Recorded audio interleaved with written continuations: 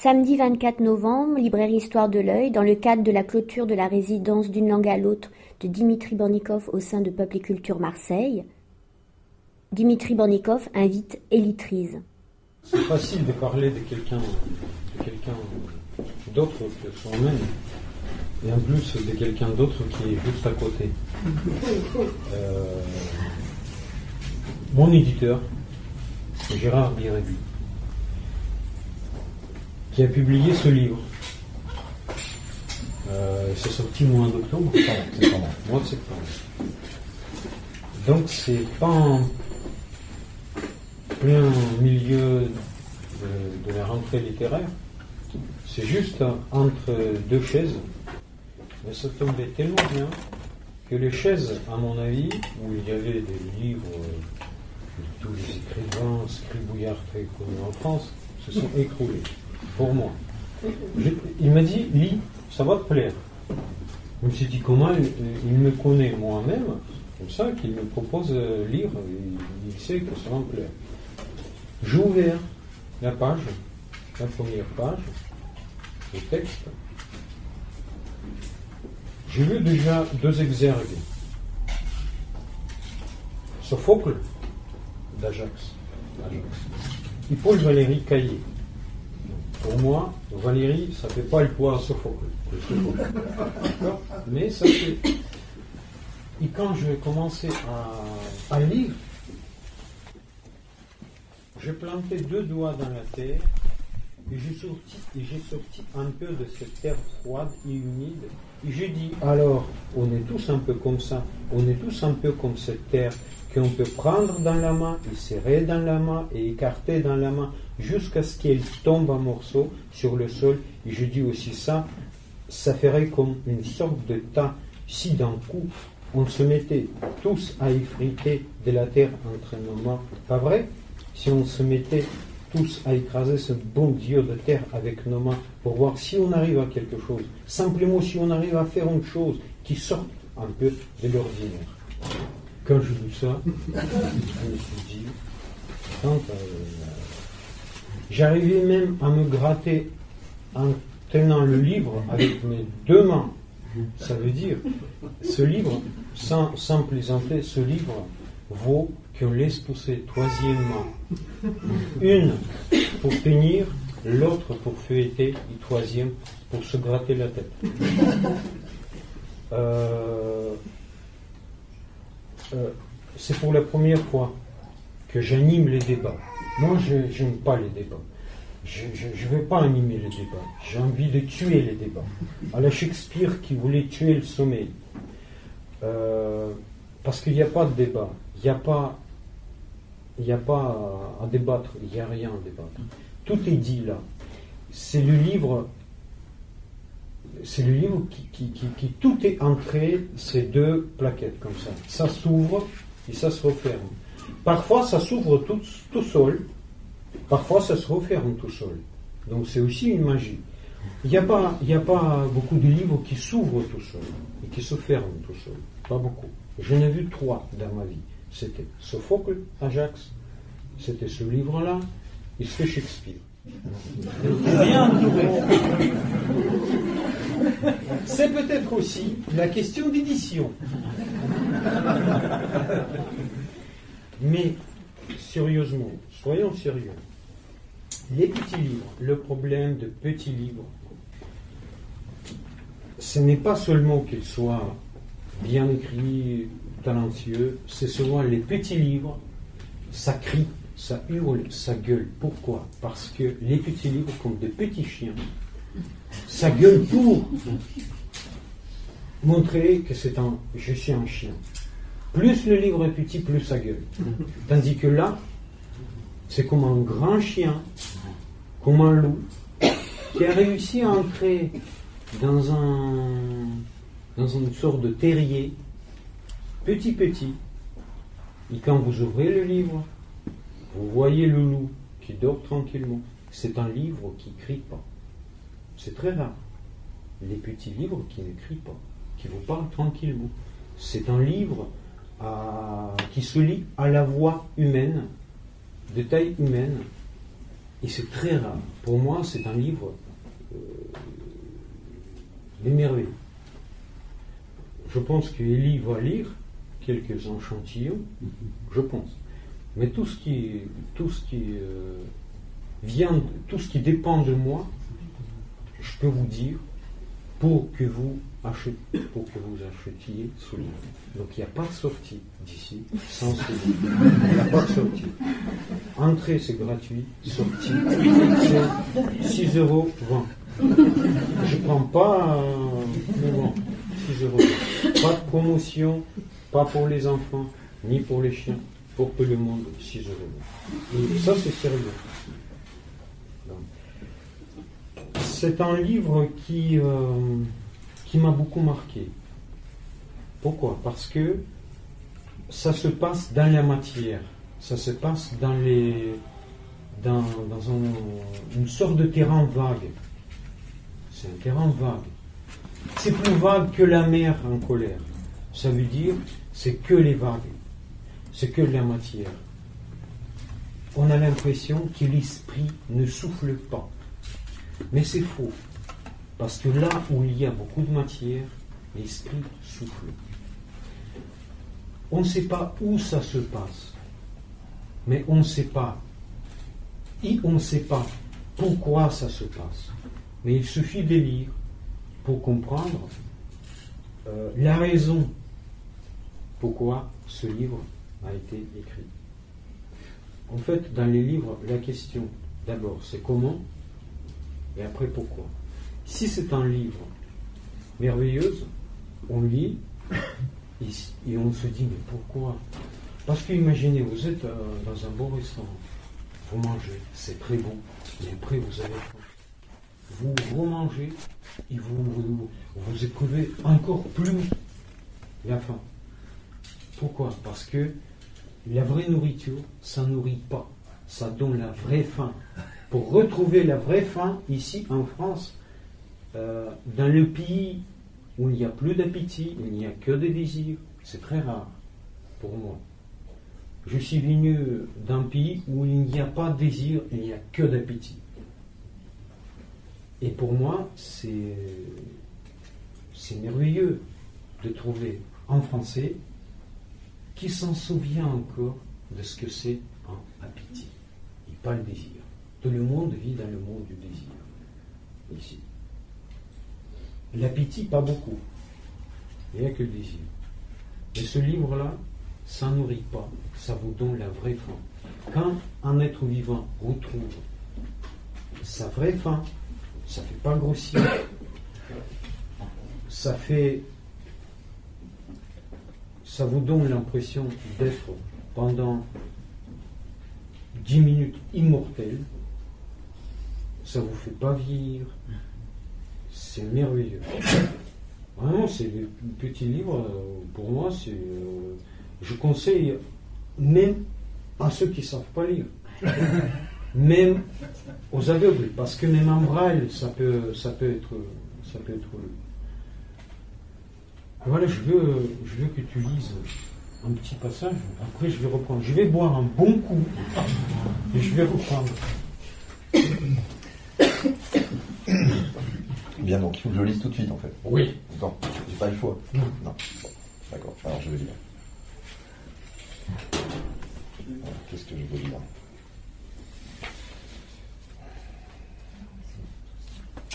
ben, Je vais peut-être euh, relire le début, tout simplement c'est vrai que ah, je vais le lire peut-être euh, un peu différemment.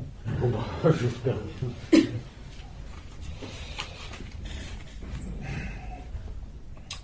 Planté deux doigts dans la terre, et j'ai sorti un peu de cette terre froide et humide. Et j'ai dit alors on est tous un peu comme ça. On est tous un peu comme cette terre qu'on peut prendre dans la main, et serrer dans la main, et écarter dans la main jusqu'à ce qu'elle tombe en morceaux sur le sol. Et j'ai dit aussi ça ferait comme une sorte de tas, si d'un coup on se mettait tous à effriter de la terre entre nos mains, pas vrai? Si on se mettait tous à écraser cette bon Dieu de terre avec nos mains pour voir si on arrive à quelque chose. Simplement si on arrive à faire une chose qui sorte un peu de l'ordinaire. J'ai regardé sur le côté et j'ai dit merde Hadès. C'est pourtant vrai qu'elle doit être importante cette terre. Et d'ailleurs, il n'y a rien que j'aime plus que de m'asseoir ici sur les feuilles quand ça fait juste un peu froid au cul. Et ça doit ressembler un peu à l'ancien temps, tu sais. l'ancien temps, comme tu disais, avec des types qui en avaient parce qu'on n'était pas encore rendu dans un monde de mange-merde. Et j'ai bien l'impression que ce soir, ça ressemble tout à fait à l'ancien temps. L'ancien temps dans lequel tu vivais, avant qu'on soit tous là, avec les histoires et le reste. Et Hadès n'a pas répondu. Ou alors il a répondu comme il peut faire les autres fois. Et il a juste balancé un glavieux dans la pente. Et j'ai dit, sûr qu'on devrait tous avoir mis les mains dans la terre au moins une fois, pour savoir de quoi on parle. Et si ça se trouve à la fin, on n'aurait même peut-être plus besoin de parler. Mais on serait juste tenté de se taire pour regarder le monde s'effriter lentement autour de nous. J'ai placé doucement une branche sur le feu. Et après, les questions sont revenues peu à peu, comme des bourrasques tièdes. Et j'ai dit, on est bien ici, Hadès. Et tu verras que les types comme nous, les types comme l'eau aussi, par exemple, on n'est pas comme ceux qui disent une chose et son contraire. Et sûr qu'on ne laissera pas tomber un type de l'ancien temps. Et même s'il y, en a qui disent que tu déparles, ou encore que tu es juste bon renifler les verres de gnôle, je te dirai simplement cette chose que l'eau ne laissera pas aller seul un type de l'ancien temps. Hadès n'a pas bougé. Il a juste continué à regarder le feu, mais il a dit l'eau au nom de Dieu. Il a dit tu penses qu'il suffit d'attendre l'eau, l'eau avec ses magouilles, l'eau avec ses combines, pour que les choses se décoincent. Et après, il n'y aura plus qu'à lever la main pour cueillir les fruits sur le côté, et on aura enfin obtenu toutes les réponses. Il a dit alors ouais, si tu crois ça, c'est que tu aussi conclu. Puis il a baissé la tête, et il a regardé longuement la bouteille de gnôle. Et c'est donc murmurer quelque chose que son regard réprouvait. Et son regard même s'évadait tandis qu'il portait la bouteille à ses lèvres et qu'il buvait une gorgée, puis une autre, puis une autre encore, comme un type gravissant un à un les échelons d'une colline rouge. J'ai remis les doigts dans la terre, et j'ai écarté encore de la terre et des feuilles entre mes paumes, encore et encore. Et le silence s'est déplacé lentement vers Hadès. Hadès avec sa vieillesse, comme une terre venue lentement bout d'elle-même. Hadès avec les arbres tout autour, et puis encore le fusil posé sur ses genoux. Et il a posé doucement ses doigts sur la crosse du fusil. Et c'était comme une idée neuve et singulière, le réconfort de cette crosse glacée, dans la nuit pleine des odeurs de décembre. Tu peux nous dire un petit peu, euh, est-ce que c'est un coffre-fort, le livre, ou c'est un armoire à glace? Ça veut dire, est-ce qu'on a besoin des clés pour pouvoir ouvrir, ou on peut accéder comme ça euh, dans, tout ce qui est dedans? Ça c'est important parce que euh, moi j'avais l'impression que c'est c'est pas facile. Au début je commençais à lire, il y a Hadès, Hadès, marqué Hadès comme Hadès grec, il y a l'eau, il y a His Majesty. Je me suis dit, attention, il y a magouille. Ça veut dire il faut, il faut, il faut avoir les clés pour pouvoir entrer. En fait, pas du tout. Maintenant, je voulais demander. Euh, Alors, est-ce qu'il faut avoir les clés? Ben, Moi, je ne dirais pas forcément. Donc, c'est la maison ouverte. Voilà, c'est ça. Je pense que l'idée, c'est que moi, j'ai pris une trame. Mhm. Euh, j'ai pris une trame qui était euh, celle de. Enfin, L'argument, c'était l'idée de prendre l'histoire d'Ajax, Ajax l'ancien, Ajax fils de Télamon, et de reprendre la structure de, de sa fin de vie, à savoir le, voilà, le, dire la, la tromperie d'Athéna, le fait qu'il croit se venger des Grecs euh, en rapport avec le problème des armes d'Achille, et le fait qu'Athéna détourne, détourne, sa colère sur les bêtes à cornes, et à la fin, il est tout juste humilié, et l'idée est celle-là. C'est-à-dire que c'était un guerrier valeureux, c'était celui qui, par qui la, défaite ne venait pas, c'était celui qui jamais ne, reculait. Et eh bien c'est celui-là qui, par euh, sa détermination, et à force de détermination, a justement sombré dans, un, dans, une folie qui était l'inverse de ce qu'il était au départ. Et donc j'ai voulu reprendre ça parce que ça me semblait être une, un temps fort, un moment fort. De... Mais véritablement, c'est comme un échafaudage. C'est-à-dire mhm. que au départ, ça part de là, et après, c'est autre chose. Et finalement, il n'y a même pas tellement besoin. Alors évidemment, j'ai mis une citation, la citation linéaire, qui, indique le lien avec euh, la tragédie, qui indique le lien avec euh, ce qui se passe juste avant l'Ajax de Sophocle. Mhm. Et à la fois, euh, il n'est absolument pas nécessaire d'avoir vu ni Sophocle, ni l'Ajax, ni, ni quoi que ce soit d'autre en définitive. Le but, c'est simplement de créer, comme je l'ai dit plusieurs fois, un texte qui parce qu'il y a un autre texte derrière, crée une sensation d'étrangeté. Mhm. Moi, j'aime que les textes me surprennent, j'aime qu'ils me laissent un sentiment d'étrangeté, voilà, l'inquiétante étrangeté de, Freud peut-être. L'idée c'est celle-là, c'est que à la fin, je me retrouve avec une vraie incertitude quant au sens précis de ce qui a été dit. Un livre qui me dit ce que je dois penser, je n'aime pas ça. Et donc, Et forcément, tu penses autre chose. Et forcément, j'ai tendance à penser le contraire. Mais, disons que il y a, euh, voilà, et c'est pour ça que la référence à Beckett qui a été euh, citée une ou deux fois, euh, oui, alors évidemment, voilà, il y a Beckett, c'est-à-dire que Beckett est le premier à avoir instauré ce, pacte de, lecture qui consiste à dire voilà, on peut écrire un livre sans rien comprendre, c'est-à-dire mmh. que à la fois comme disait Beckett lui-même, je ne sais pas qui est Godot, je ne sais pas où il va aller, je ne sais pas s'il va venir. Euh, tout ça n'a pas d'importance. Et en définitive, je me suis dit pourquoi ne pas réintroduire cette, cette, incertitude-là dans un roman, puisque finalement, euh, le roman est un espace dans lequel justement il y a trop de certitudes. je ne lis que des romans en ce moment qui sont pleins de certitudes. Et je disais même d'un point de vue linguistique, euh, l'utilisation de l'imparfait du passé simple en permanence, à la fin, c'est le reflet d'une certitude. C'est le reflet presque idéologique d'une certitude. Mm. Et donc, j'ai voulu voilà, faire en sorte de me retrouver avec voilà, un texte plein d'incertitudes et, plein de. Voilà, c'est que du passé composé, que j'ai vu que c'est presque présent. Voilà, c'est ça, du passé composé. Mais c'est le présent, c'est le présent mythique, le présent légendaire. En fait, j'avais l'impression de voir le double en lisant ce livre il y a, il les signes, euh, c'est pas des clins d'œil, c'est presque des coups de cils euh, qui, viennent de, Sophocle. Euh, et je me suis dit parfois, si Sophocle n'était pas à côté en train de te, de te contrôler, en train de te murmurer quelque chose. il y a des, vraiment des coups de cils, tu, sens que ça vient pas de, ça vient, ce n'est pas la littérature française qu'on a habitué à lire. On sait qu'il va l'aimer, l'autre va le tromper, après ils vont se marier, après ils vont se divorcer, et puis point barre. Non. Ça se passe, ça se passe, mais n'empêche que, euh, structurellement parlant, ça se passe dans le même lieu, il y a le, le même lieu, le, enfin, le, même espace, et ça dure une nuit. ça dure une nuit. Mais tout, il y a l'ambiance. Et l'ambiance, c'est le plus difficile à être créé. Personne ne vous dit, il fait noir, il fait gris. Mais avec, avec le noir sur les, sur les pages, les pages deviennent, devient de plus en plus noires et tu te retrouves dans le lieu noir, et tu te retrouves dedans. Tu as le sentiment du froid, tu as le sentiment de la terre. Ici, c'est dur. Pour moi, c'était dur à Marseille de trouver la terre. C'est difficile de toucher la terre ici. Il n'y a que le macadam. Le macadam, on dirait, c'est l'esprit. Mon cul. La terre, c'est très difficile. Trouver la vraie terre, c'est très difficile. Et quand tu retrouves dans ce petit morceau de livre, la terre. Donc tu touches la terre à travers le livre. C'est ça qui est incroyable. C'est, euh, pour moi, c'était la vraie magie. Et euh, je voulais te demander, tu sais même pas pourquoi ça sortit comme ça Non.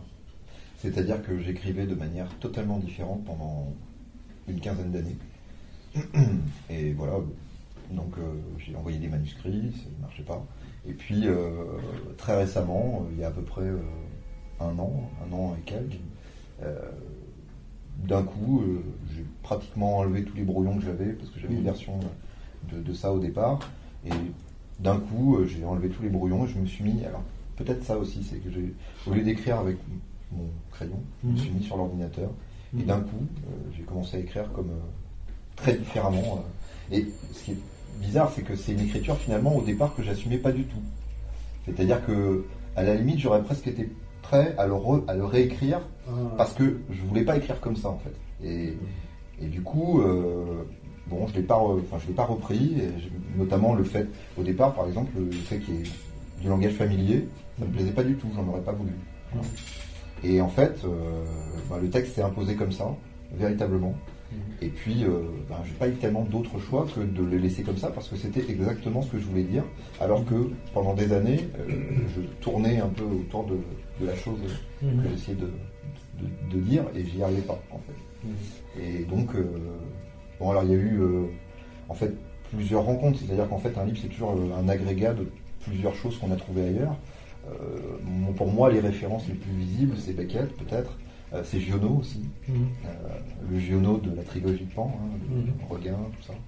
Euh, et puis, euh, et puis, euh, j'ai perdu ce que je voulais dire.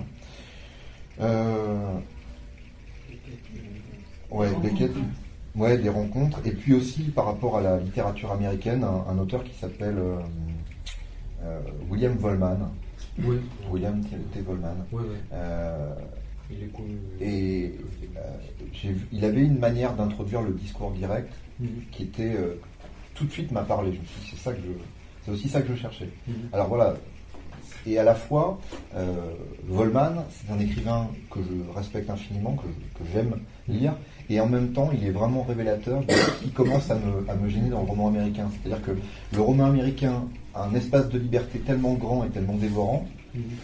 Et il cherche tellement à, de la nouveauté Mhm. qu'en définitive, il en arrive à, à- à n'être plus que dans des expériences limites euh, Mhm. et totalement sordides de, de- de la vie euh, telle qu'elle peut se développer dans ce pays-là. Et, et moi, je, je- je crois que peut-être, finalement, la meilleure manière de, de montrer la société, c'est peut-être de repasser par le biais de l'ancien, de repasser par le biais de l'antique. Et à la fin, peut-être que c'est par ce biais-là qu'on peut arriver à montrer ce qu'on vit en ce moment. Parce que finalement, euh, même, les, même les écrivains réalistes du 19e siècle, quand on les regarde, ils se disaient réalistes, ils disaient on va dire les choses comme elles sont, mais il suffit de feuilleter euh, trois pages de Germinal pour voir que la mine des Voreux, euh, elle, elle est totalement mythique, c'est-à-dire que c'est un espace dévorant euh, qui n'est pas du tout à l'image de ce que c'était réellement. Et donc, voilà, il y a cette espèce de, de détour par le par l'Antiquité qui m'a semblé un moment voilà, obligatoire, comme nécessaire finalement. Moi, je suis tout à fait, euh, je suis tout à fait d'accord euh, avec, euh, avec ça. Parce qu'il y a une violence. Et dans les sociétés d'aujourd'hui, on banalise la violence. On banalise. Les Américains, ils cherchent les murs. Ils vivent dans la maison où il n'y a pas de mur. Les écrivains américains, il n'y a pas de mur. Les murs bougent. Ils cherchent les limites. Mais dès que tu essaies de trouver, de chercher les limites, les limites bougent. Tu ne peux pas toucher les murs. Ça, les murs s'écartent de toi. C'est vraiment, c'est la folie. Euh, les écrivains russes, ils ne cherchent pas les murs. Il n'y a plus de murs. Comme ça, ça déborde. En France, on essaie de banaliser la violence. Ça veut dire, bah, il avait l'enfance difficile, il a massacré 25 personnes, mais il fait quand même comme nous, il est comme nous, et nous, nous sommes comme lui. Regardez-le, il cure le nez bizarrement, il faut, le, il faut, il faut être avec lui, l'âme et corps.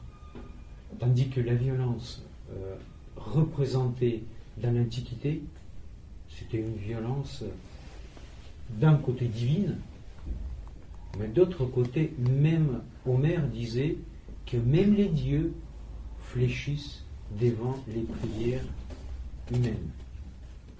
Ça veut dire il y avait des intuitions, euh, même dans l'Antiquité, les gens ne croyaient pas, ils ne s'adhéraient pas complètement à la violence divine.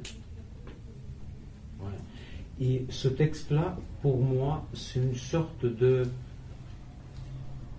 pas de rupture, mais une sorte de, de, prolongement de piste, mais qui touche plus la terre. Il y avait l'Antiquité, il y avait la folie d'Ajax, qui est magnifique. C'est la folie, euh, tu te dis, mais euh, là, j'aimerais bien adhérer. Euh, il y a une, comme ça une sorte de piste de décollage, et après ça décolle. Et on voit le, le monde différemment. Parce qu'il y a le personnage Hadès qui, qui représente euh, pour moi personnage principal qu'il faut protéger de lui-même. C'est ça. deux autres personnages, ils aiment euh, Hadès. Ils font tout pour que l'Hadès puisse avoir l'alcool et euh, le gazole chez lui pour se réchauffer. C'est un ancien guerrier qui parle peu, mais s'il se met à parler, c'est les dieux qui parlent. Mais en même temps, il arrive avec euh, une fusil. Quand il y a une fusil, comme disait Tchekhov, dans la pièce, il faut qu'il tire. S'il y a un. C'est bien Tchekhov. si un fusil ne tire pas, donc pourquoi elle est là? Il y a un fusil, je me suis dit à la fin, ça va être un petit euh, truc à la russe, un petit euh, Kalachnikov. Je ne vais pas vous dire la fin, vous allez, vous allez lire. On vous a presque tout raconté. Mais ce qu'il y a d'intéressant avec le personnage d'Ajax aussi, qui, était, qui a un peu voilà, posé les bases de tout ça, c'est qu'en fait, Ajax, dans la, dans la tragédie, c'est un personnage ancien. C'est ça l'ancien temps aussi. C'est-à-dire qu'il y a une opposition franche entre l'ancien temps et le nouveau temps. C'est-à-dire que, euh, par exemple, Ajax l'Ancien, c'est euh, le dernier qui utilise le dipylone, le, bouclier euh, ancien des anciens Grecs alors que les autres sont déjà passés à l'oplone, enfin le bouclier des hoplites. Et il, y a cette, euh, espèce de, voilà, d'opposition entre, entre des époques différentes. Mm. C'est-à-dire que véritablement, euh, Ajax est un guerrier qui est déjà anachronique. Il est déjà anachronique et en définitive, sa sortie par la petite porte, elle n'est que le reflet de ça. Il est déjà plus à son époque. Et finalement, euh, ce sentiment-là, il est permanent. C'est-à-dire que l'opposition, justement, entre l'ancien temps et le nouveau temps, mhm. entre l'ancien et le moderne, c'est quelque chose d'absolument fondateur. Et quand, euh, même dans les relations humaines qu'on voit mhm. de nos jours, euh, c'est quelque chose d'absolument structurant. C'est-à-dire que finalement, on est toujours l'ancien ou toujours le moderne de quelqu'un d'autre. Et, cette, cette, à mon avis, cette relation-là, elle doit être interrogée. Oui, il ne s'est pas lié forcément à la génération. Non, pas tout à fait. Pas tout à fait. Oui, c'est ça. Donc ça veut dire quelqu'un qui, qui, gribouille comme moi euh, à la bique, par rapport à toi, je suis Ajax. C'est ça. En quelque sorte. Oui. Ouais. Euh, c'est euh, c'est curieux. C'est curieux. Parce que déjà pour les Grecs, qui pour nous, qui sont très anciens, même pour les Grecs, Ajax c'était encore plus ancien. C'est ça. Et, le, moi, pour moi, effectivement, la violence symbolique de ces pièces-là, elle, est terrible. Quand on, voit le début de la pièce, justement, de l'Ajax de Sophocle, avec euh, Ulysse qui assiste, invisible, à la déchéance, ça commence comme ça. Athéna parle à, Ajax, qui ne voit pas Ulysse qui est à ses côtés. Et, et Ulysse, quand Ajax repart, est absolument totalement effrayé. Il est pris de pitié pour celui qui était son, son ennemi. Et c'est là que vous sort la, citation que j'ai mise au début, c'est-à-dire euh, je vois bien que je vois bien que nous ne sommes nous tous qui vivons ici rien de plus que des fantômes ou que des ombres légères. là vraiment on est vraiment on est au cœur de la tragédie. Et ça, le, livre, euh, il y a aussi, vous allez rencontrer Ulysse, Odyssée, vous allez rencontrer aussi euh, His Majesty, c'est. Voilà. Là, après, on, s'éloigne un peu de la tragédie, on s'éloigne de. Au départ, comme j'ai dit, il y a, une structure qui est celle-là, et puis après, il y a des personnages qui se grèvent par nécessité, par. Euh, et puis, euh, et puis, il me fallait un narrateur, à la première personne. alors là, qui, qui, ressemblerait plus à un personnage de Steinbeck, on va dire. c'est presque une espèce de d'ersatz de, de Georges de Léni dans, Les Souris des Hommes. Euh, donc voilà, c'est une espèce d'agrégat de choses qui normalement ne devraient pas se mélanger ensemble en fait. C'est-à-dire qu'on ne devrait pas avoir le, le Léni de Steinbeck avec euh, l'Ajax de Sophocle théorie. Et bon, je vais essayer de le faire quand même. On découvre que parfois, il vaut mieux avoir quelque chose en écran, en écran, pour mieux voir à travers ce qu'on n'arrive pas à voir sans écran. C'est ça qui est curieux. C'est euh, Glenn Gould qui, adorait Mozart. Enfin, adorait, c'est un peu exagéré. Il disait Oh, il est mort vieux, trop vieux. Mais il jouait Mozart parce qu'il était. Euh, il, voulait, il pouvait jouer tout. Il jouait un jour sa femme de ménage, elle détestait Mozart. Et il mettait chaque fois l'aspirateur. Et à un moment, imaginez, il n'aime pas Mozart. En plus, la, femme de ménage qui déteste Mozart, deux qui détestent, l'un qui est déjà mort, ils se mettent à le détester ensemble. L'un qui le déteste sur les bouts de doigts et l'autre avec l'aspirateur. Glenn Gould, il n'attend rien quand elle joue parce qu'il y a l'aspirateur. La vieille qui repasse l'aspirateur, il attend que l'aspirateur, il n'attend pas le Mozart. Et un qui, c'est Glenn Gould qui dit, il dit, il, à ce moment-là, sans entendre Mozart, j'ai compris que je joue Mozart, avec mes doigts et avec autre chose. Donc, et après, il a essayé de faire ça avec, plusieurs compositeurs. Ça marchait ou marchait pas. Il a dit qu'il faut avoir un écran entre vous, pas complètement fermé, mais il faut avoir un écran pour que vous puissiez accéder à la vraie vision. À la vraie vision. Qu'est-ce que ça veut dire la vraie vision? On ne sait pas. C'est pas la vision des yeux, c'est pas la vision d'autre chose, mais c'est la vision, la vraie vision. La vraie vision, ça ne peut pas être provoqué par la drogue, par, trop de café, par trop de, l'eau. C'est provoqué par autre chose. Ça nous arrive. Ou ça ne nous arrive pas. Ça nous arrive jamais. Mais si une fois ça nous arrive, c'est une sorte d'extase.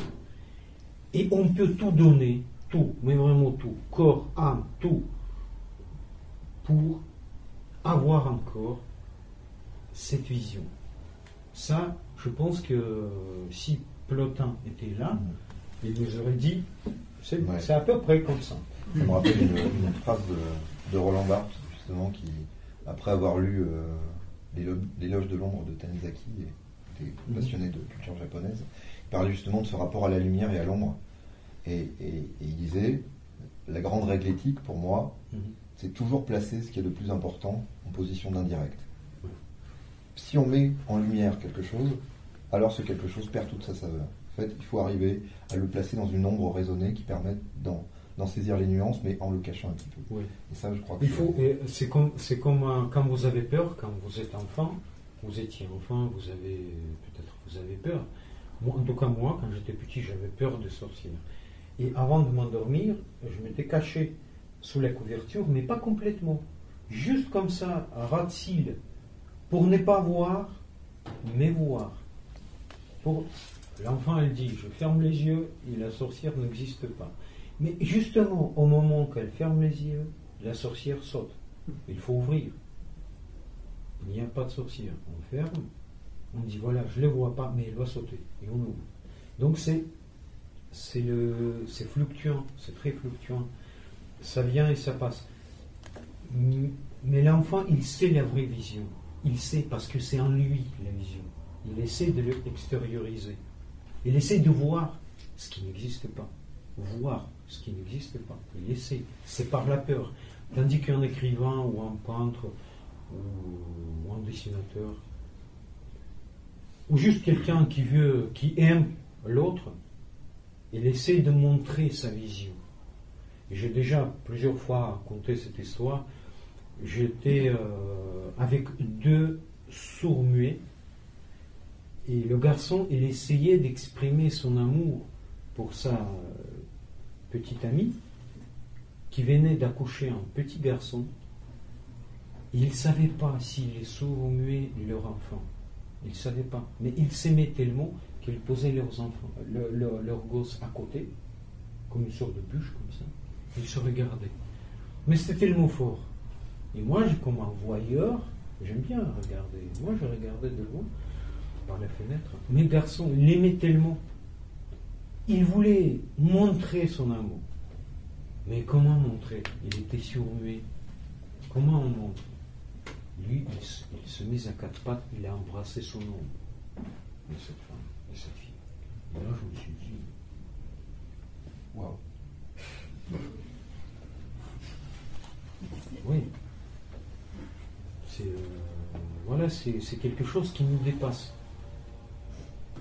Et la fille était effrayée.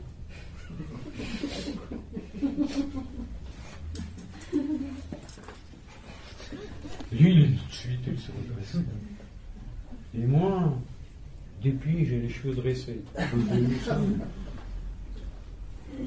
Donc, euh, lisez ce livre. Ceux qui ont les cheveux dressés, ça va vous servir pour toujours. Ceux qui n'ont pas les cheveux dressés, ça va redresser les cheveux. Ceux qui n'ont pas les cheveux, ça va pousser les cheveux. Donc, euh, sérieusement, c'est un livre, c'est le meilleur livre, en tout cas de cette année, c'est sûr. Et je pense bien que c'est même euh, le meilleur livre de, de l'année euh, précédente. Comme ça, euh, d'un écrivain, euh, un, Moi, un je écrivain, peut-être pas aussi loin, mais c'est pas. quand on a fait un bon boulot, il faut reconnaître qu'on a fait un bon boulot. On va s'asseoir tranquillement, on va mettre les mains sur la, sur la table et on va regarder nos mains. et, on devient nous-mêmes parce que on peut devenir nous-mêmes que quand on est fatigué. Vraiment. Et je pense que tu étais bien fatigué. Voilà.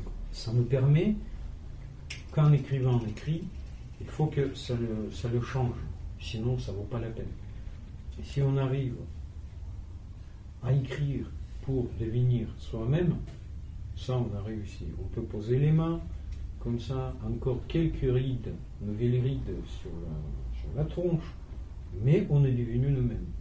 C'est ça qui est bien. Et c'est ça qui, fait, euh, qui fait l'art. Je dirais pas la littérature, parce que personnellement, je, je tiens pas d'entrer dans la littérature, d'y sortir. Mais c'est très difficile. Très difficile. Mon cas, c'est particulier. Donc, je rentrais, non, je suis entré dans la littérature. Il m'a fallu du temps pour comprendre qu'il faut sortir. Donc, j'étais comme une mouche qui était aspirée dans l'aspirateur, qui était en marche. Il fallait ressortir. Et c'était presque impossible. Tandis que pour toi, tu étais comme une mouche qui batte les ailes pour ne pas entrer. C'est ça qui est incroyable. ouais. Et ça, c'est un vrai miracle. Mais, mais comme ça, euh, on dit que c'est un vrai miracle. Étant une mouche qui allume, par quel miracle, l'aspirateur, qui est la littérature, qui aspire tout, qui mange tout, c'est un monstre. La littérature française, le- le- le- le- qui est en quelque sorte l'édition française, ça bouffe tout, ça Ah. mange tout. Tu jettes tout, tu jettes une pierre comme ça, il demande encore, il redemande, et il va dire, je vais revenir. Et pour ne pas être aspiré, il faut battre les ailes. Il faut battre les ailes. Mais on est petit et on est obligé soit avoir les chevilles ailées, mais on n'a pas de chevilles ailées, on n'est pas percé. Ce n'est plus antique. C'est pire qu'antique, c'est biblique maintenant. Il faut battre les ailes parce que le moloch euh, mange. Y, a il y a quelque chose. euh, c'est vrai qu'il y a. euh, Comment dire On, on se, on se rend pas compte au moment où on écrit à quel point on est euh, en, en permanence bloqué par des surmots d'écriture et à quel point la, la littérature que l'on voit euh, nous empêche de faire ce qu'on voudrait vraiment faire. Ouais. Et ça, euh, ça c'est ça c'est absolument terrible. C'est-à-dire qu'il y a même par rapport à ma profession, je suis enseignant, j'ai fréquenté des textes et la littérature française. Et il y a la littérature française, c'est un aimant. Mm. C'est-à-dire que moi, j'adorerais écrire comme Proust, j'adorerais euh, écrire comme Claudel, ou- mais à la fois, je suis pas Proust, et je suis pas Claudel. Et- Proust, jamais fait du Proust. Et Proust, euh, oui, voilà. Et Proust a été à son- en son temps critiqué comme, Oui. comme écrivant du Proust. C'est-à-dire que, euh, c'est-à-dire que voilà, nous on a tendance à considérer l'écriture de Proust comme un, comme un monument, mais à l'époque c'était pas du tout le cas. Et, et il, il était euh, harcelé de toutes parts. Parce que justement son écriture était différente, parce que le propos était différent, parce qu'on l'accusait de, partir dans tous les sens, il a fallu attendre très longtemps avant de comprendre quelle était l'architecture. Et finalement, euh, voilà, euh, il y a vraiment, que ce soit la littérature qu'on voit dans les rentrées littéraires, ou même la grande littérature, enfin ce qu'on étudie dans les écoles, c'est une force d'inertie, véritablement. C'est-à-dire que ça bloque les gens qui essaient d'écrire parce que euh, on se dit voilà, il faudrait écrire comme ça. Ce serait Parce bien qu'on a d'écrire lu avant. Parce qu'on a lu avant. Et c'était tellement fort. et où on est comme des clous qui sont attirés euh, par les mains, et on ouvre les yeux et on est déjà sur les mains. Il faut que quelqu'un nous retire. Mais qui nous retire? Qui va nous retirer? Ça, c'est un problème. Mais, mais, voilà, c'est spécifique à la France.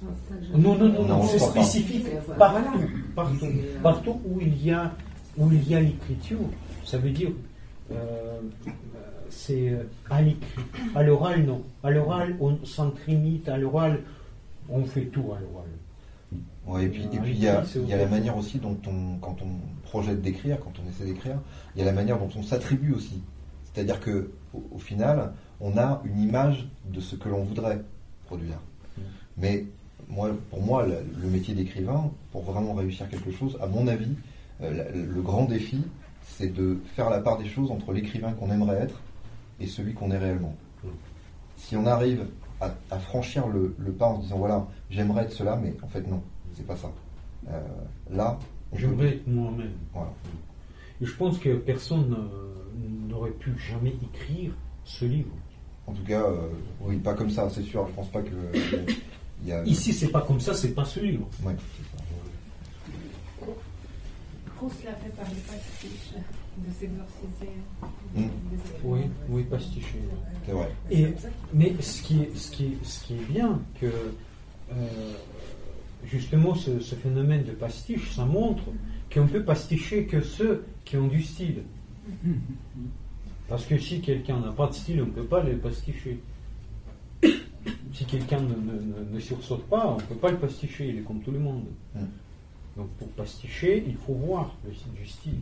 S'il y a du style, on peut pasticher. Et je pense que tout ça, euh, pasticher. Euh,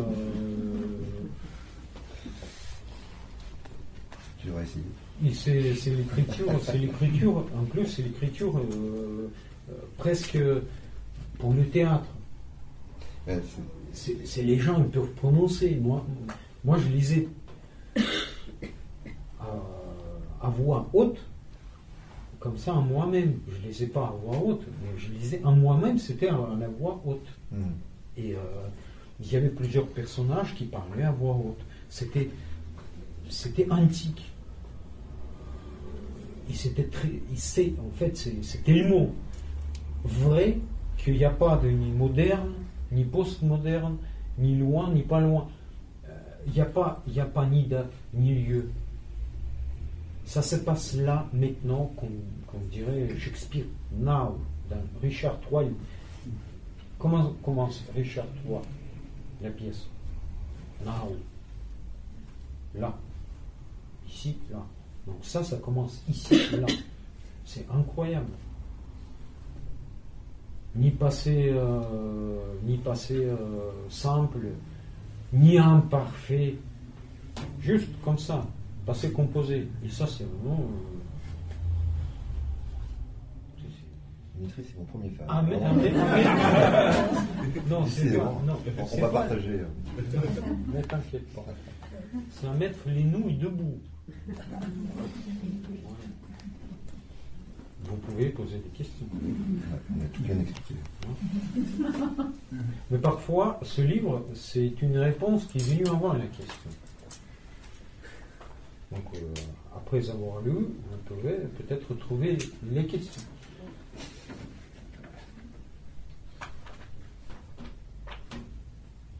Vous êtes euh, satisfait du livre? Ah, euh, en a assez peu modestement, oui. C'est un, livre que je voulais écrire depuis longtemps et je ne savais pas comment l'écrire. Je l'ai, je dis, comme pas assumé longtemps et maintenant je l'assume je me dis que je ne l'assume pas dans la vie de tous les jours. Parce que comme je disais, euh, comme mes, personnages sont à la fois euh, racistes, homophobes, euh, j'ai beaucoup de problèmes avec, dans mon quotidien avec des gens qui pensent que je pense exactement comme le livre. Mais disons que pour le reste, hors de ce problème de contingence, non. Je trouve que voilà, je, suis arrivé à quelque chose que je voulais faire. Et j'espère, enfin je suis en train de continuer.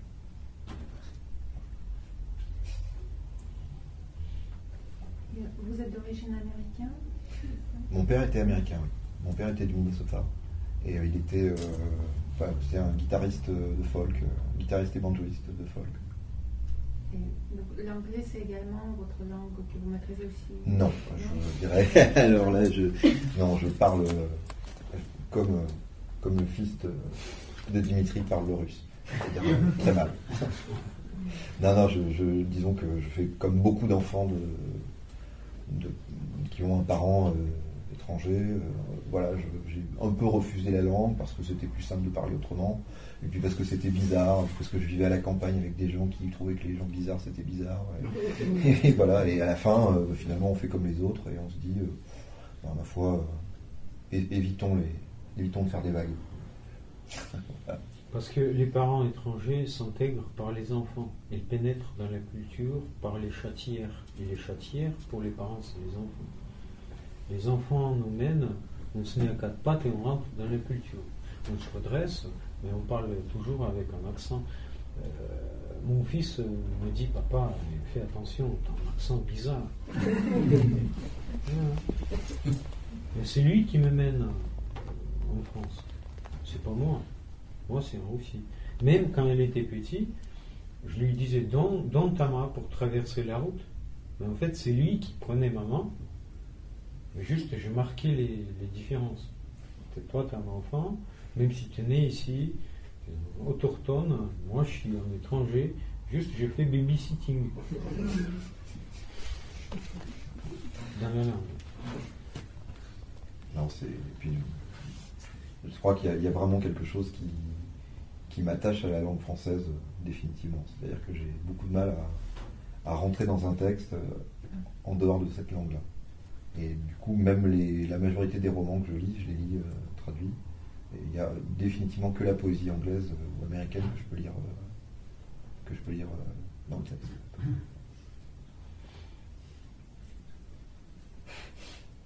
Pardon?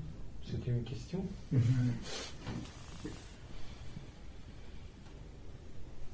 Alors, il n'y a pas de question. Moi, j'ai une question, parce qu'on discutait tout à l'heure et tu disais que tu avais écrit beaucoup avant donc, euh, cette première publication, mais des choses assez différentes au niveau de la forme. Ah oui, oui, rien à voir. J'ai écrit des haïkus, beaucoup. des petits, euh, petits fragments, euh, des petits poèmes courts. Et alors, ce que j'avais essayé de faire dans un précédent livre, c'est de faire des, des haïkus, mais qui se suivent en fait. Mhm. C'est-à-dire à la fois trouver une forme qui soit à la fois euh, qu'on puisse lire euh, à la fois comme un fragment mhm. qui fait sens, mhm. et en même temps, c'était des suites de 15 fragments par saison qui à la fois faisaient un texte. Ah, d'accord. Donc c'est plus malin que les Chinois, parce que, euh, que les Japonais. Parce que haïku, tu peux pas lire plusieurs la suite. Tu peux pas. Tandis que là, tu as fait plusieurs et on pouvait le lire de suite. Mmh, oui. Enfin, l'accueil a été mitigé quand même. oui. Mais l'éditeur n'était pas japonais. Non, non, non, non, mais il n'y avait pas d'éditeur en fait. Donc, mis, mis, à part ma propre famille.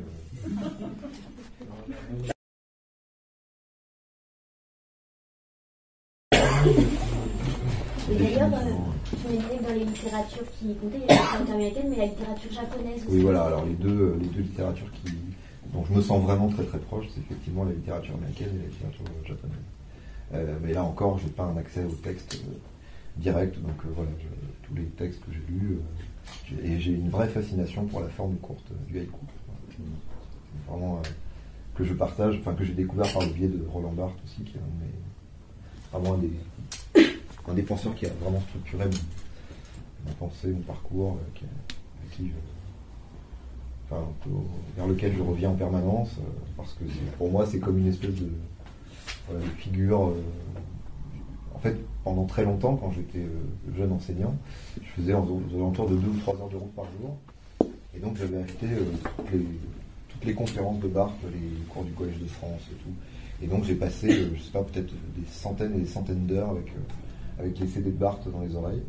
Et, j'ai l'impression de le connaître en fait. Je, connais le terrain de sa voix, le ton qu'il emploie, je, je, reconnais quand il fait de l'humour, même si ça s'entend pas. C'est comme une espèce de, copain quoi, en fait. Et voilà. Et donc, euh, j'ai hérité euh, de sa passion pour le pour l'haïku et la, civilisation japonaise en son ensemble. Et puis bon, on fait des arts martiaux aussi depuis très longtemps. Il y a une question. Mais alors justement, lui, il oppose euh, le texte classique qu'on étudie soi-disant dans les classes et, et le texte qui fait écrire le texte scriptive. Et alors, euh, comment voilà, se situe votre posture d'auteur par rapport à vos élèves Euh, là encore, ça fait partie des choses sur lesquelles je suis obligé de travailler. Je ne l'assume pas du tout. Et quand euh, je- ce que je disais, c'est que l'autre jour, j'ai une petite élève de quatrième qui est venue m'apporter mon, mon livre en me demandant si je pouvais lui faire une dédicace. Et j'étais quand même très, très mal à l'aise. Et euh, elle était beaucoup moins mal à l'aise que moi. Euh, alors voilà. euh, alors après, par rapport à, à la question générale de Barthes, ça c'est encore plus compliqué, mais. euh, pour l'instant, en fait, c'est par rapport à mon texte, je dirais que c'est des questions que je ne me pose pas. Je, serais tenté de dire que euh, j'a- j'arrive pas à voir mon texte comme appartenant à la littérature, comme appartenant à, de l'écrit important. Euh, je vous dis, il y a neuf mois, pour moi, j'ai envoyé un texte, il a été pris, et, et j'arrive pas à faire le lien entre la théorie de la littérature et ce que j'écris. Parce que pour moi, euh, ça n'en fait pas partie et ça n'est pas des choses sur lesquelles. euh, enfin, J'arrive pas à considérer ça véritablement comme de la littérature. Oui, pour- il faut que Barthes soit ressuscité pour lire et pour faire la, la théorie là-dessus. Pour lui passer un savon, parce que Barthes, il n'accepterait pas que.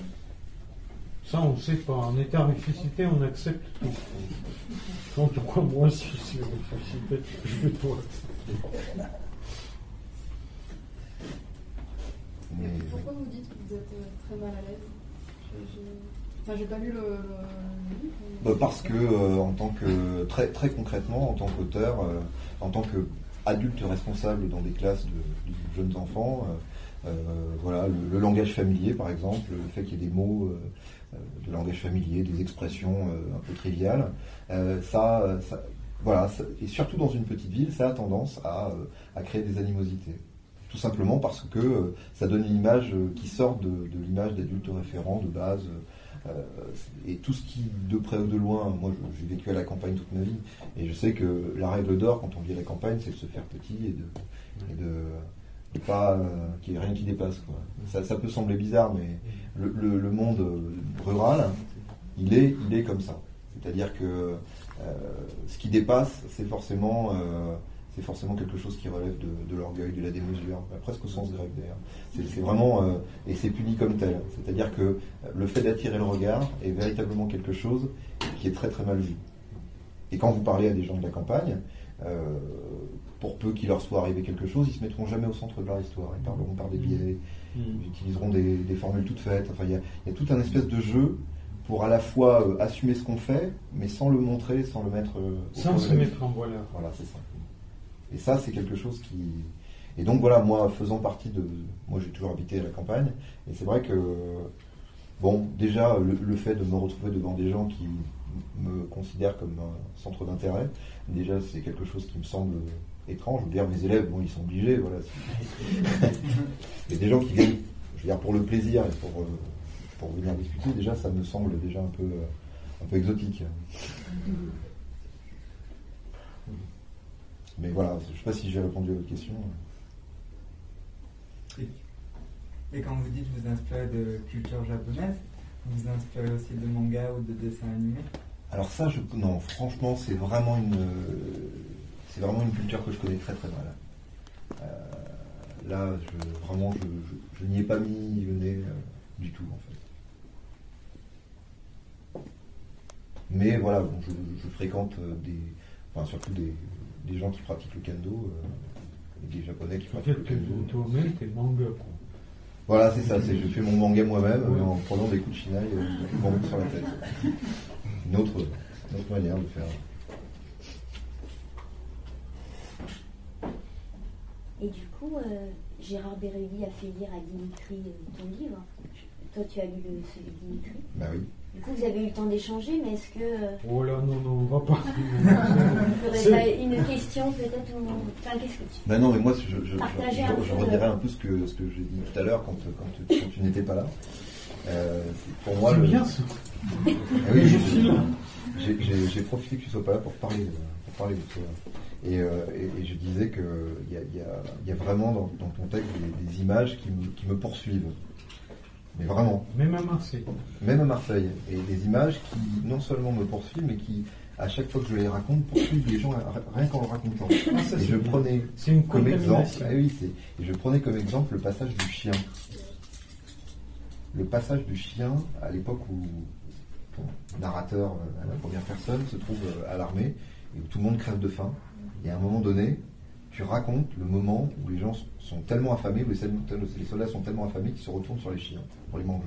Et il y a ce rapport-là, euh, c'est terrible.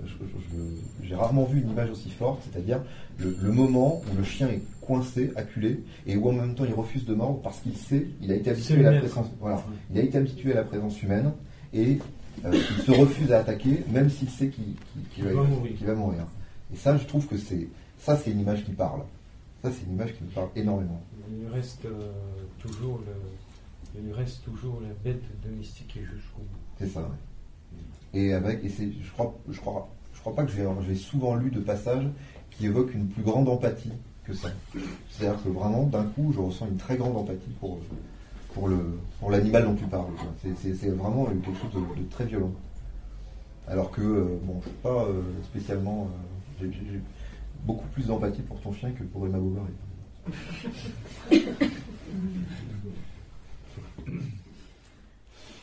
Non, mais- Flaubert doit faire le tire-bouchon dans, dans, dans, dans- dans sa tombe. Bon, il n'avait pas tellement d'empathie pour Emma Bovary je crois. Mais avec, euh, avec Flaubert, c'est c'est plus pervers.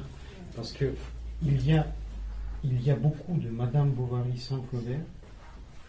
C'est très grande souffrance d'être Madame Bovary sans Flaubert. Le reconnaître, se dire voilà, je suis Madame Bovary. Flaubert a tout dit. Mais lui, il avait sa Madame Bovary. Moi, j'ai pas mon Flaubert. Mm. Mm. Pour un écrivain, il y a des étapes. Récemment, je pensais à Dostoevsky et je me suis dit, si Dostoevsky euh, ça avait été arrêté d'écrire au moment de Crime et Châtiment, il n'aurait pu jamais devenir Dostoevsky. Il serait resté à jamais Raskolnikov. Il y a un moment quand on dépasse. Pour devenir Dostoevsky, ils- ils étaient obligés de passer et devenir Raskolnikov et après devenir Dostoevsky. Comme euh, Julien Sorel et Stendhal. Il y a beaucoup, beaucoup, beaucoup d'écrivains qui sont une sorte de Stendhal, mais jamais, mais sans Julien Sorel. Il y a beaucoup de Julien Sorel sans Stendhal. Il faut que deux choses se rencontrent et se transforment. En fait, c'est toujours la Trinité, l'éternelle Trinité russe. Deux choses, il y a troisième. Euh, il y a une goutte d'eau, il y a la graine, il y a la terre. Il y a trois choses, mais il faut que la graine meure. Et, euh, il faut que je, il fallait que je dépasse le côté soldat affamé et le, le côté chien Mm. pour euh, voir les deux. En fait, voir chien à moi qui bouffe l'autre chien, il vo- il- mais qui voit Le chien ne voit pas. Mm. C'est en fait c'est tout ce qui me mettait, euh, me restait à cette époque humain, un petit dé à coudre d'humanité qui me restait. C'est ça, oui, c'est- ça ça, qui, qui, voyait. Un peu d'humanité, un brin d'humanité qui voyait un chien qu'on était en train de poursuivre, euh, il bouffait après, à la fin. On a terminé un petit couteau euh, pour les ongles. Un chien, de, un chien, un berger allemand, gros comme ça. Ça veut dire qu'il avait tellement la trouille face à nous. Il voyait les monstres, mais c'était les monstres humains. C'est ça qui est pire.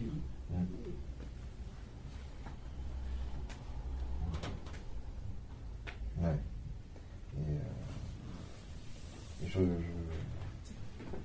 je, pensais aussi à la. Alors, ça, c'est par rapport à la, littérature russe, mais le, rapport à la, à la folie ou à la déraison qui revient euh, comme un. Enfin, voilà, pour moi, la littérature russe, le, le- le ciment de ça, c'est justement cette, espèce de frontière entre euh, une raison très fragile et, le, la folie qui, couvre tout. Voilà, c'est ça. Enfin, moi, je me rappelle enfin, les, textes russes qui m'ont marqué. Euh, c'est cela, c'est ces textes où véritablement il y a des personnages qui sont au bord. Enfin, même par exemple le prince Mishkin de, l'idiot, qui est, qui est, toujours euh, à, mi-chemin entre sa, crise d'épilepsie et son. Il est, il est, en permanence dans une telle. dans, une, dans une telle. comment dire euh, euh, il, est, avide de paroles, il est tellement avide de paroles qu'au au moment où la, parole s'emballe et qu'il perd la parole, justement. Et ça, c'est très intéressant. il, est, avide de verbes. Oui, c'est ça. Et, euh, mais le verbe il ne peut pas être né dans la bouche d'un être humain. Le verbe lui échappe, Et c'est les paroles qui lui échappent. Il a envie de, de verbe, mais il n'a que les paroles. Mais le parole, il ne le satisfait pas. Et dans ton texte, il y a ça aussi, c'est-à-dire que la parole rapide, la parole saccadée, mhm. c'est comme une course, une course pour, pour éviter le, le moment où le silence reviendrait. Et moi, je, mhm. c'est très parlant justement ça. C'est vraiment le, et pour moi, il y, a, il y a cette idée de la, la, raison et la déraison, l'espèce de, de, glissement entre les deux qui, euh, qui voilà, il s'agit d'échapper au silence. Ou pour arriver au silence, se précipiter vers le Ouais. Mais c'est toujours de cheval. On écrit comme un braille, comme un morse, comme ça, juste pour. Parce qu'il y a des choses tellement urgentes, et c'est impossible de. C'est le viol de la verbe. Parce que c'est impossible de se marier avec le verbe. C'est impossible. C'est impossible. Ça se passe très vite. C'est un viol. Il, sera toujours puni. Donc il faut violer le verbe. Et ben après, euh, c'est tellement rapide c'est plus rapide. Euh, le verbe est plus rapide que la pensée, que la langue, que tout. C'est la vision. La vision est tellement rapide qu'on ne peut pas le fixer. On peut circonscrire au lieu de circoncire. Il faut juste montrer. C'est désolé de vous donner des images comme ça, mais c'est une sorte de clitoris autour duquel on tourne toujours. Et euh, c'est la vision, c'est autour de la vision. On ne peut pas donner. La vision ne parle pas, les yeux ne parlent pas. Qui parle? C'est nous qui parlons.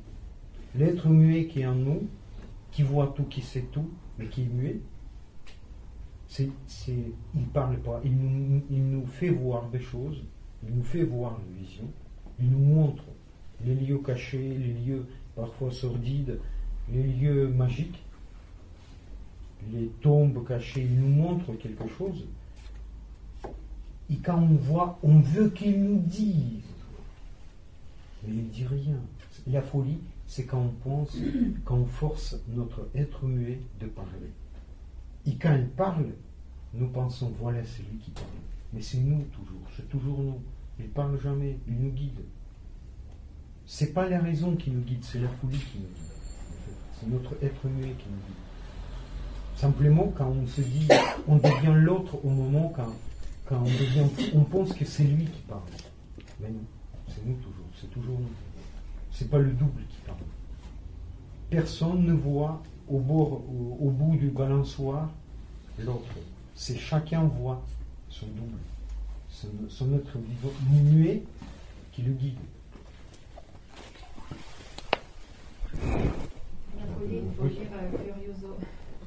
Oh non, ça, si quelqu'un est en sang, ici, il ne faut pas aller.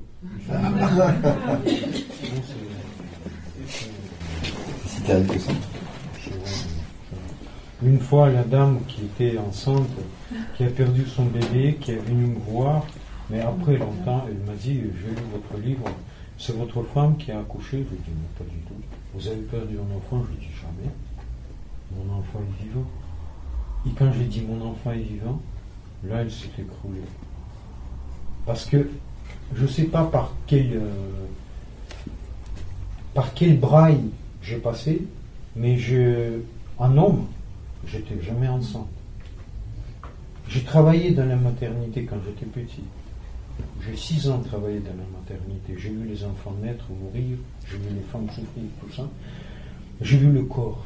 Je sais que le corps, c'est, c'est pas Jojo, c'est la matière. Par quoi il est animé, je ne sais pas.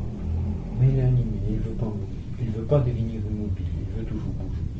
Mais il y a des moments quand elle ne peut plus, elle meurt. La matière, elle meurt. Et j'ai vu les enfants morner. Moi, pour moi, c'était très fort. Et euh, j'ai rendu cette expérience.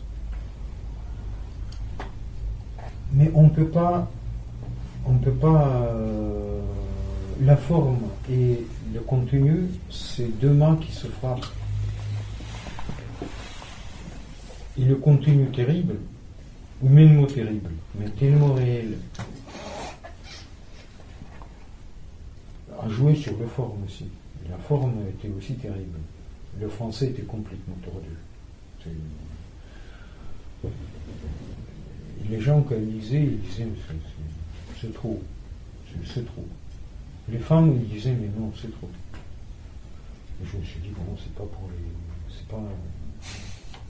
C'est pas, c'est pas pour, pour les gens qui veulent vivre. C'est plutôt pour les morts. Ils ont toute leur éternité pour nous. Et, finalement, euh, c'est pas tellement, ce qui me guide, c'est pas tellement euh, ce que je vais dire, c'est premièrement le rythme sur lequel ça va être dit. C'est-à-dire qu'il y a de ça, je pense que c'est la poésie qui m'a quand même vraiment tiré vers, ça. Le rythme, et puis euh, les, stratégies de, contraste. C'est-à-dire véritablement arriver par, le, par le biais de ce déroulement-là à des, à des effets de contraste permanent, c'est-à-dire euh, des contrastes entre évidemment la voix de la narration et puis la parole rapportée qui est justement introduite de manière directe, et puis euh, justement arriver à, créer des espèces de failles dans lesquelles finalement le texte, véritablement par le biais des personnages, arrive à quelque chose que euh, je ne voulais pas dire. Vous voyez ce que je veux dire? C'est-à-dire vraiment presque à une, une perte de, perte de la suprématie que je pourrais avoir sur le texte. Mais ça, ça se fait de temps en temps. C'est pas toi qui maîtrises. C'est le, texte qui te maîtrise. C'est-à-dire qu'à un moment donné, il y, a, quelques mots de plus qui viennent, et généralement, quand ça arrive, euh, ça, donne pour moi des images qui me plaisent. Mais disons que euh, c'est une expérience, comme je dis, très subjective. C'est-à-dire que euh, à la fois, j'essaie de la décrire avec les mots qui me viennent, mais je ne sais pas trop comment, comment en rendre compte, finalement.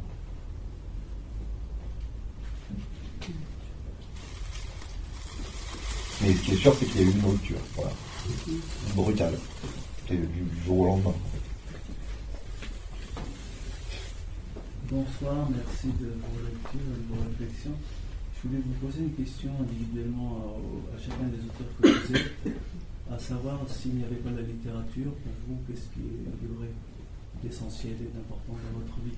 S'il n'y avait pas de littérature? On va pas avoir la même réponse là, je crois.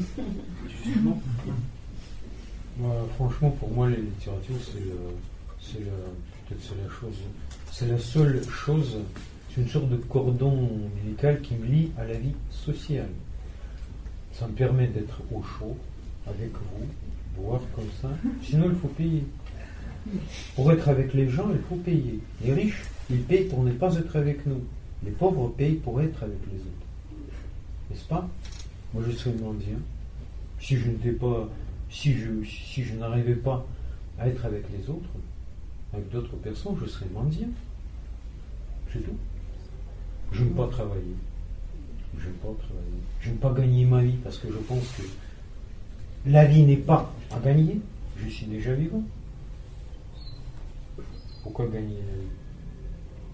Effectivement, si j'étais, mais on parle sérieusement, si, euh, si, euh, si, si je perds le don, si je n'arrive plus, je vais vite descendre, je vais prendre l'ascenseur pour, pour être au, plus bas de la terre. Vraiment au bas d'escabeau. Pour, euh, comme ça, pour définir ce que je suis. Socialement parlant, la littérature, c'est ce, que ça qui me lie à, à la vie sociale ça permet, euh, chez nous, comment, comment les, êtres vivants se rencontrent. Je ne sais pas. c'est par, pour moi, c'est par le verbe.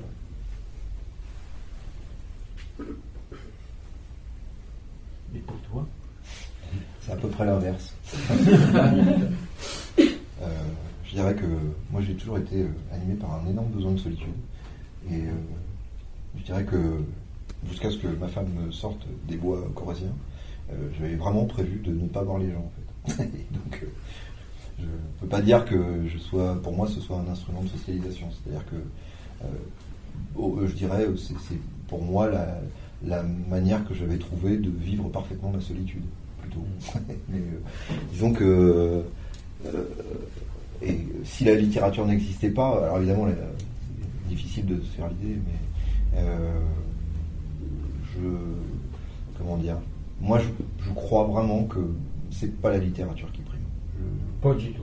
C'est pas la littérature. qui- moi, je, voilà, je, je crois que quand il y a des moments où je me dis bon, euh, ouais, il faudrait que j'écrive, euh, c'est, c'est- ça va me faire plaisir. Et puis euh, euh, voilà, je vois mon fils qui veut aller au rugby, et je l'emmène au rugby, je suis très content de au rugby. Donc il n'y a pas de, c'est voilà, c'est, c'est- c'est bête, mais euh, à la fois je sais que je pourrais pas vivre ça pleinement si si je lisais pas et si j'écrivais pas.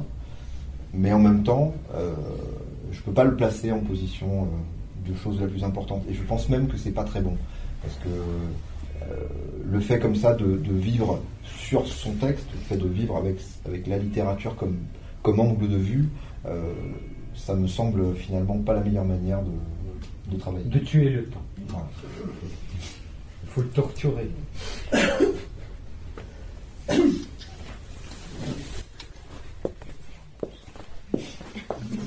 Mais je crois qu'il va être, il va être l'heure, c'est mon éditeur. Parce qu'il m'a édité chez le même éditeur. Mais lui, il ne nous paye pas pour qu'on. Là, euh, on fait. On fait euh,